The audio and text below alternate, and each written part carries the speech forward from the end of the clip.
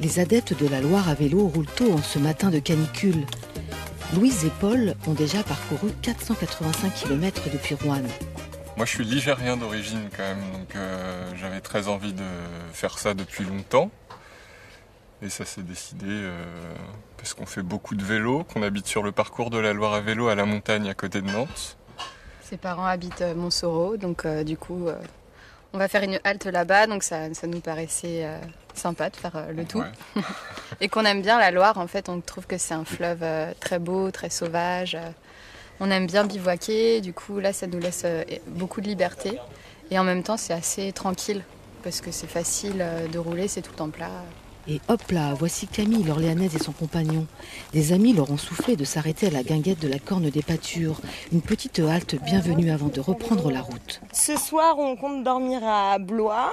euh, et puis on va passer par Tours, euh, Saumur, euh, Angers euh, et jusqu'à Nantes. Et on veut rester 2-3 jours à, à la mer à la fin. Donc dans quelques kilomètres, on est à Beaugency, donc on peut s'arrêter par là. Et après, à Tavers, pour voir les eaux bleues de Tavers. Voilà, il y a quelques kilomètres aussi.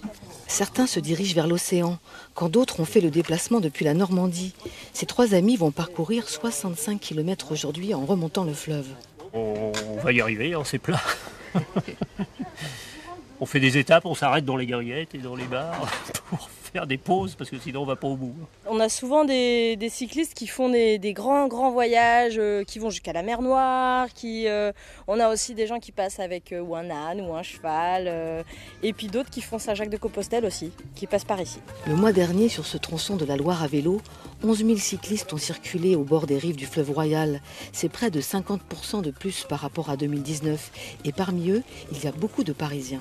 Tout le monde sourit. Euh, nous qui sommes parisiens, ça nous change un petit peu de notre euh, train-train quotidien. Et oui, les gens partagent beaucoup plus. euh, tout, le monde est dans la bonne humeur. En plus, on a à peu près le même esprit de se dire on part à vélo, on fait quelque chose qui est écologiquement bien. Donc franchement, tout le monde est bonne, plein de bonnes ondes en tout cas. La Loire à vélo semble décidément s'afficher dans le top des vacances à passer en France cette année.